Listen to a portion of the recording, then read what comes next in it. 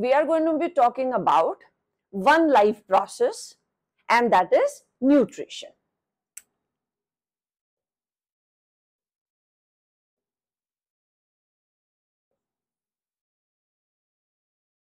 Now, let us first classify this nutrition according to the modes.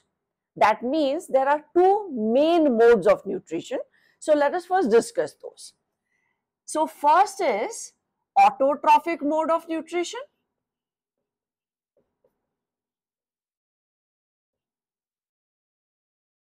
And the other is heterotrophic mode.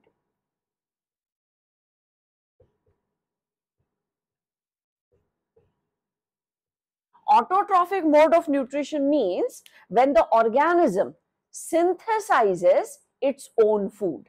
So here our example is of plants. So plants synthesize their own food. They synthesize their own food. This is seen in case of plants. So such type of organisms are known as autotrophic organism and such type of mode is known as autotrophic mode of nutrition. Heterotrophic mode of nutrition means when the organism obtains its nourishment from some other organism. And in this, we keep the example of animals. So here our example is of animals. So animals would either get their nourishment from eating a plant or some kind of animal product like eggs or meat. So the animals are obtaining their nourishment from other living organisms. Whereas plants, they synthesize their own food by the process of photosynthesis. So if plants can synthesize their own food using sunlight and water and, uh, and carbon dioxide and chlorophyll, so they become autotrophs. And if we are taking nourishment from some other plant or animal, then animals become heterotrophs and the mode of nutrition is called heterotrophic. Heterotrophic mode of nutrition can further be divided into various categories. So now let us see heterotrophic mode can further be divided as holozoic mode of nutrition. Holozoic mode means when the animal eats something. So when we eat something, it goes into our digestive system. It will be broken down or digested into simpler forms and then we are going to use it. So in simple words, we can say here, the animals eat and digest it in their body. And this can be in simple organism like amoeba or it can be like us. So here our example becomes amoeba or again humans. So you, it is easier for us to understand what is holozoic. We take something in our mouth, chew it, digest it, and then the simple nourishment that we get, then we break it down to obtain energy. Because ultimate aim is to obtain energy so that our life can be maintained. So this is called holozoic mode of nutrition. It is one type of heterotrophic mode. Next is known as saprophytic mode of nutrition. This is also a type of heterotrophic. Saprophytic mode of nourishment or taking nutrition is very different. It is seen in case of fungi. What do fungi do? A fungus would release the digestive juices outside the body. So, let us take an example. Say, here is some dead material. So, this is dead material, some uh, rotting leaves or something and on this a fungus is growing. Say this is a fungal cell. So the fungus releases the digestive juices outside the body.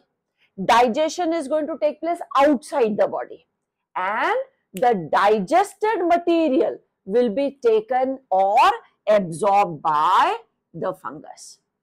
In case of holozoic, what was happening? We eat, digestion takes place inside our body. The digestive juices are secreted inside our stomach and intestine. Whereas here, digestion is taking place outside the body and the digested food is taken. So, how do we explain this mode which is seen in fungi? They release enzymes outside their body. Digestion takes place outside the body and digested food is absorbed. This type of mode is known as saprophytic mode. So here we have fungus. Now fungus is a group. So we can write down example of any fungus like rhizopus. Rhizopus is commonly known as bread mold. Fungi or fungi are normally called molds. Many times we see that if a piece of bread is you know left uh, outside for a longer period of time, then a thread-like fungus grows on it. That is rhizopus, commonly known as bread mold. So it releases the enzyme on that piece of bread. Digestion takes place on the bread and then the digested material is absorbed. The third type of heterotrophic mode of nutrition is known as parasitic mode. In parasitic mode, the organism obtains its nourishment from the host. So here there are two organisms. One is a parasite and the other is the host. So parasite obtains its nourishment from the body of the host. But they take care that the host doesn't die because if the host dies, these parasites will have to look for another host. So we say it is without killing them. Without killing them. So parasite lives in the body of the host without killing the host so that they can keep taking the nourishment from the host's body. Now these parasites can be of two types. They can be ectoparasites or endoparasites. So we are talking about two types of parasites here. Ectoparasites and endoparasites. Ectoparasite means the parasite lives on the body of the host. Parasite lives on the body of the host, not inside the body. An endoparasite means the parasite lives in the body of the host. One, one example of ectoparasite is leech. Leech gets attached to the body of animals and keeps sucking the, uh, the blood.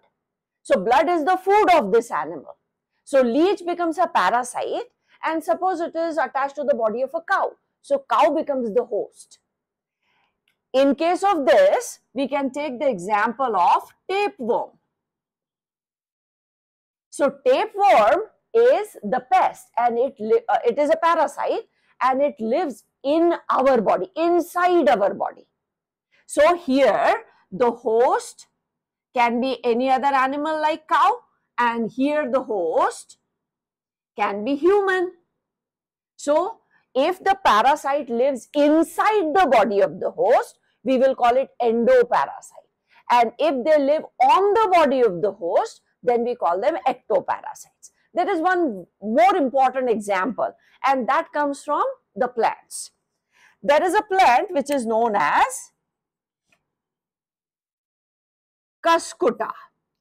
It is a parasitic plant and it grows on the other plants and it obtains water, food, everything from the other plant. So, Cuscuta is a parasitic plant and leech is an ectoparasite. You must have also seen that uh, on the body, on the fur of these animals like dogs and cats, there are small insects which are called ticks, mites, and they keep sucking the blood from their body.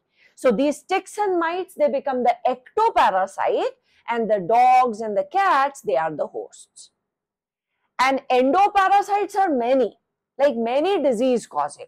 Malarial parasite, the parasite which causes malaria, it lives in our body.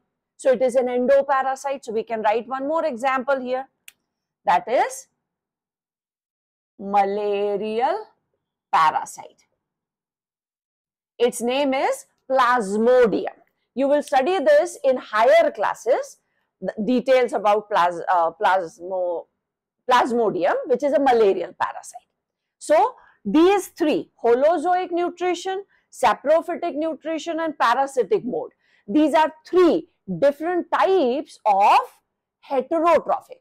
Now, what was our heterotrophic mode of nutrition? That the organism or the animal obtains nourishment from some other organism. Here, we are eating something, maybe a plant part, maybe an animal part. Here, the fungus obtains its nourishment from maybe bread or dead leaves or maybe a log of wood. Here the parasite obtains nourishment from the body of the other animal or other plant. So, when the nourishment is obtained from some other organism, it is heterotrophic. Animals cannot synthesize their own food. This is heterotrophic. Modes can be different. And autotrophic means when a plant can synthesize its own food by using carbon dioxide, water in presence of sunlight and chlorophyll. The process is known as photosynthesis by process of photosynthesis. So, this is how we classify the nutrition mm, process into different categories. We call them modes of nutrition. Now, in the next part, we are going to take various modes seen in animals, like how amoeba takes its nutrition, how paramecium takes its nutrition, and then how humans obtain their nutrition. And then we will come to how plants synthesize their own food.